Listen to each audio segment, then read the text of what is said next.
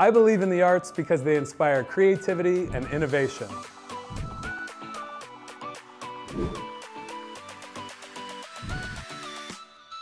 My eye is inspired.